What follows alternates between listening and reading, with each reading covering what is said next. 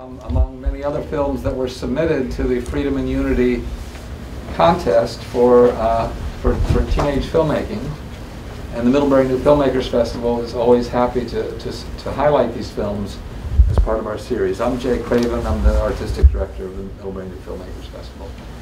So why don't you first just introduce yourself, um, talk about what it was that inspired you to make the film, and that'll be the first thing we do. So at the end, this is our uh, art therapy. Well, my name is Andrew Martell, and obviously I've made art therapy. Um, art has been a huge inspiration in my life, and you know when I heard about the Freedom Unity contest that you get to express, you know different passions you have, different interests and stuff like that, I decided you know what, I'm gonna tell my story a bit, you know, and I can kind of convey my story through my art because I used art to kind of fall back on when all else failed. So I felt you know I wanted to share that. Mm-hmm. Okay. And so it was the contest itself that made you decide to make the movie? Yes, uh, I was. I'll be honest. I, I heard there was money, so I was like, all right, well, def- definitely gotta hone in on this one. So I put a lot of work into it. Um, I took so many, so many shots that I didn't use. Yeah. But I, I, I think I had about four or five different versions of that video before I got Okay. to the one that's up there. So. Did you get any money? Uh, yeah, I got like a hundred bucks. Okay. Pretty much. Congratulations. Thank you. Good for you. Okay, then we have the brown water, what's the name of the? The water ran brown. Water ran brown, about the copper mine. Okay, tell, tell us what inspired you to make this film. Uh, so my name's Ezra McGinley Smith, and I made The Water Ran Brown, uh, the story about the Elizabeth mine. And I'd always been kind of interested in the mine itself because it has a very interesting backstory. And um, I also love filmmaking photography. And so I decided to kind of go up there and check it out. And I was like, well, this would actually like make a pretty cool film. So um, I decided to make a film on that because it was kind of talking about, I was really interested in the history of it. And uh, yeah, so I met, met some cool people who knew a lot of things about the mine. And um, I mean, it's, it's really beautiful up there, so it was definitely a fun experience to make. Uh-huh. Yeah. And the, the photography of the, of the streams and all of it is very, very beautiful. Thank you. And the emotional power of your film, uh, art therapy, very strong. And it really gives you the, the case of working through, we're using art to work your way through emotional complication. Thanks. Very effective. All right, now we've got a whole cavalcade of filmmakers here. All right, why don't you each introduce yourself first, and then we'll go back and talk about what made you, what you got to make the film. Um, my name is Stella Gray. I played I played Elena, one of the girls from the past in The Lost Epidemic. Okay. Um, my name's Oprea. I played um, one of the people in the modern classroom. Okay. Uh, my name is Elizabeth. I was B in the movie. Okay. You were B. Yeah. All right. One of the old. One of the older people. One of the old-fashioned people. Uh, I'm Avery, and I was Kira, one of the time travelers. Okay. Um, I'm Willow, and I was one of the modern day classmates. I'm Lila, and I was one of the like time travelers, I guess. Okay. So what inspired you to make this film? Um, we saw the similarities between the 1918 pandemic and now, and we decided it would be good. We saw the film festival, and we decided it would be cool to make a film about that. Avery, you want to tell more? Oh, um, okay. Well, uh, uh, what? Okay, well, Kurt sent us, um, the, uh, contest and we thought it would be really cool to make something because we've been making films. You've been making films. Yeah. The six of you. Yes, Okay. more than um, uh, well, yeah, and so then I thought it would be cool to make something for it, and we knew it would have to fit into one of the categories, and so we thought history would be cool, and then we, um, yeah. We So you came up with the idea. How did you come up with the idea? you came up with the idea of the 1918 pandemic, first of all, as something from history, yes? Yeah. So then there's another idea that comes into play, which is what? Or Huh? the pandemic pandemic.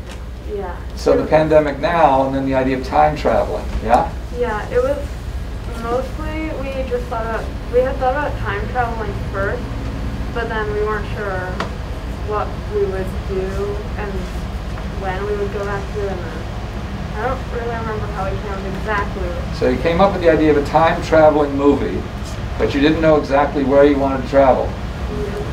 All right. And so then who came up with the idea of the pandemic as, as a place to travel? How did you get there? Wait, I think it, it was it was either Wasn't that you, I think it was me maybe. Yes. All right. Okay. This is what you call working it out, right? And then did you write a script?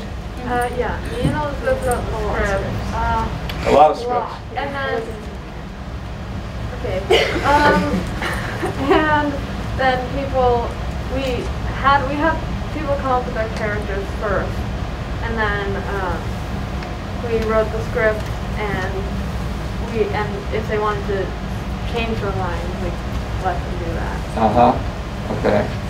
Now, did you have an adult work with you on the script, or you just did it yourselves? No, we scripted yourself. Okay. And then, so the filming, how did you work that out? Everyone filmed except me because I'm very bad at it. Okay. Uh, yeah, we have a camera that we use, and um, we were thinking about good places to film. Um, we organized a time and date to film at the Shelburne Museum in, Ver- in Shelburne, Vermont, for a more historically accurate setting. As you can see, Very nice. the majority of the buildings are made of wood and look more older because of when they were made. Most of the majority of them were made between um, 1850 and 18 and 1900. Okay. And So- so, how did you convince the Shelburne Museum? Who called them? Um, I called them. We we originally asked them around February. Yeah, I Um, emailed but we couldn't. Yeah, we couldn't figure out a date that worked for all of us, and we ended up planning for a date and then having it not work out with the museum. So I called to see what available dates there were, and then worked from there, so that we could work for for them Okay. because they're a business, whereas we, as a group of then seventh graders, were a little bit more flexible. And fifty. Okay. And you shot one day at the, the Shelburne Museum? Yeah, we couldn't work out more than one date to film, and since and the um, we were about an hour away from the Shelburne Museum, so we didn't want to film there for multiple days. So Right. we all got in our costumes and filmed. Um, for about three hours, we cut a lot of scenes. Uh huh. Um, Okay. And then also we filmed. Yeah, we filmed in a lot of places. Uh, we started with the first scene where they're in modern times. We filmed in one place, but then the audio was really bad, so we had to refilm more. Then we tried another place, but it started to rain really hard. Started to rain. We were Okay. outside. You guys know what making a movie's about. okay. And um, so, what town are you from? We're all from Middlebury, Vermont. Okay. All right. So you go to the school right here in town. Yes. Which school? I'm transferring schools, but Um, everyone other than O- um, Ocrea Littlefield right here is going to Middlebury Union Middle School down the Okay. road. Good for you. So, how long did it take to shoot art therapy? Uh, From the time you started to work on it to the time it was done. I I think what it was somewhat like uh, I want to say March we started. Uh, that's when I was notified about the competition by my teacher, and I worked on it pretty much to the day of submission, like April, uh, around April Okay. sometime, like in the beginning of April. Did you know right away what you wanted to do this as a film? Uh, I kind of, uh, whenever I'm introduced to a topic, I kind of already think of ways I'm going to do this. So I kind of had a general idea the day I started, like, Yeah. like okay, um, you know, I'm thinking practical stuff. I'll get some time lapses in there of me drawing, which surprisingly enough, that you know five second clip took about two hours Yeah. with the time Right. lapse of Yeah. just me drawing. And Yeah. The funny part is I cut out most of it. Um, so it it it took a it took a little while. Um, you know, I interviewed my dad, and uh, I had to pull off some footage off of YouTube for that clip in the beginning. Yeah. And I actually it took me a lot longer than it should have because I mismatched the audio with the like the lip syncing. I, I messed that completely up. So I had to go back. I had to scrap all the editing I just did, go back, find the clips, and do it all over again. So I actually ended up taking it twice as long. So it, it took about like a full month. I was working on it every Okay. day. Ezra, how about you? How long did it take you to make your film?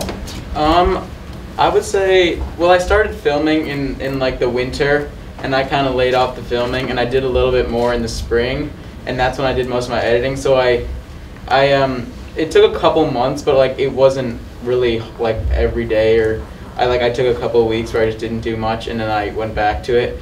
So it was, it was a little bit on and off. It's hard to say like how much exactly, but um, once I had all the footage, it, footage, um, I don't really know how long it took to edit, but I had a, I had multiple versions of the video, and I kind of went back and changed it. Okay. Yeah. You have a next project in mind? Um, I'm making a couple videos, but no uh, no really big projects in mind right now. Yeah. Yeah. Okay. And how about you all? Do you have another movie you're gonna make?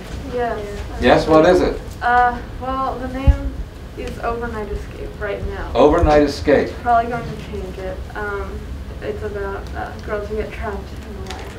Girls who get trapped in the library. Okay. Movies are about libraries. Yeah. Yeah. Because we had to film in a library.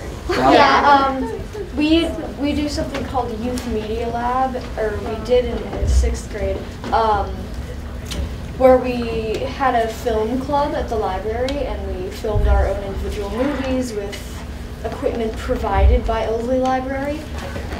By Kurt. Is over there. Yes. Who, who, now, wait, who are you crediting now? Who, who? Right here. All right, fine, good. Um, so we ended up filming a lot of library-themed movies because that was the setting that we had to film in. Yeah, Our, our first movie, um, That's what it is. The Last One was, was about uh, three sisters who Three sisters, okay. you got the cast, Yeah. okay. Um, But you're not actually sisters. no. Okay, fine. That's movies, and that's the other thing about movies. It's all fake. Right? Okay. Except for when Lila was, uh, yeah.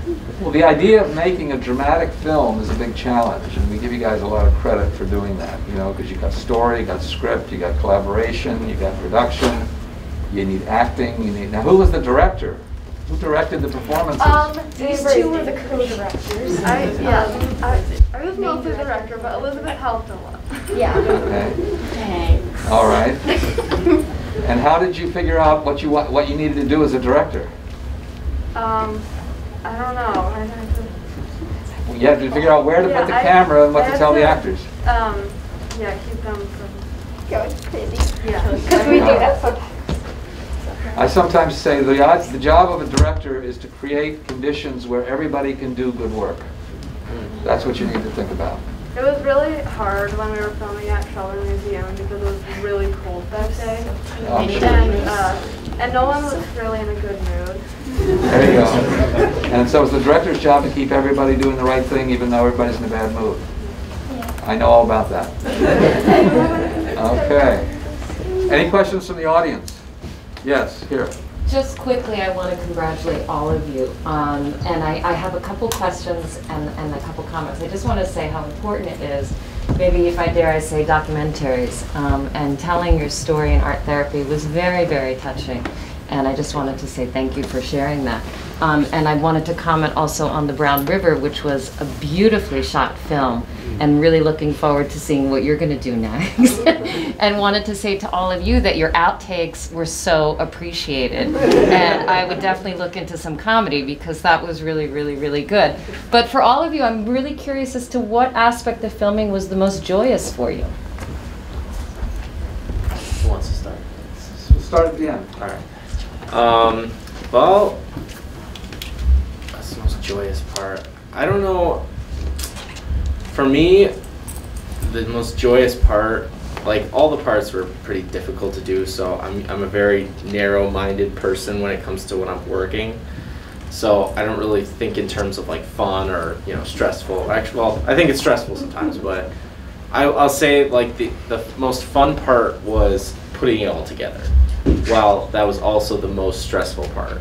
But once I got to see it, you know, play out, I, I, you know, I went through hours of footage, and once I got to see all that be put together with all the B-roll footage, all the interviews, all the audio finally working, that was that was that's probably the best part. It's just seeing it all put together and seeing that vision be realized. That's that's definitely the best part. Um, for me, I'd say probably the most fun part was uh, just getting like the, the nature shots because I do a lot of photography and so kind of like line up the shot like a photo and then you do video and add, find a way to add movement.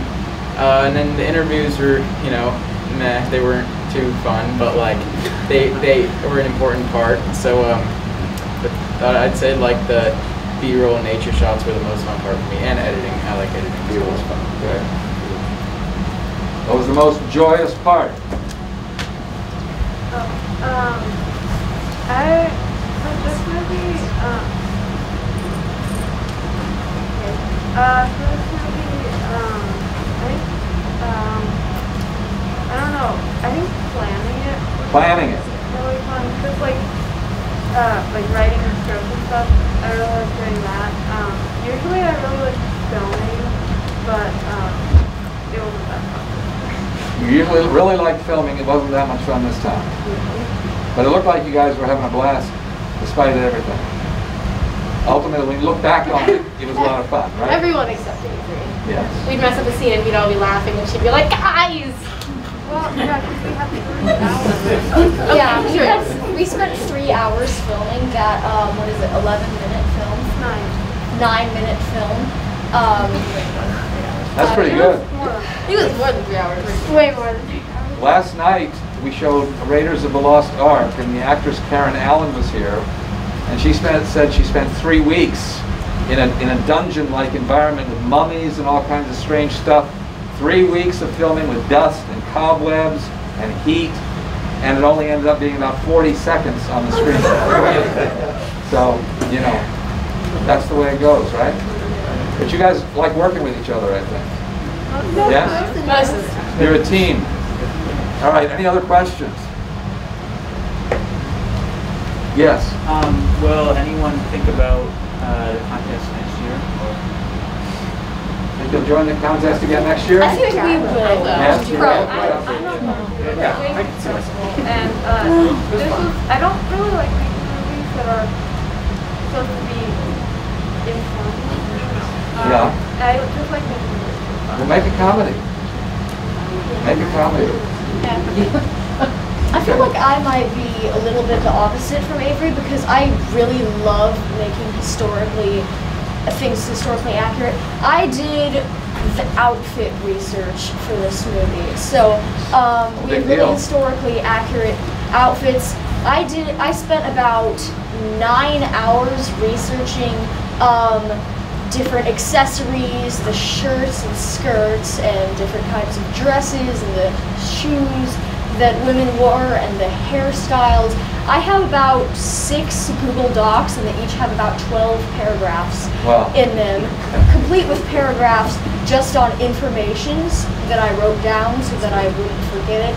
All spent to make um, mine and Elizabeth's outfits. So I really, I really enjoy researching Yeah, things. Great. I thought those costumes were fabulous. Hers is more historically accurate than mine. Is that right? Okay. Well, no, there's a lot of work that goes into it. That's a dramatic film, requires all these different elements. You were thinking about the world that you were occupying, which was the world of the Shelburne Museum, created that sense of the right time and place, talking about costumes, talking about script, talking about directing, talking about acting, a lot of different elements go into it. You deserve a lot of credit. It's a very ambitious film.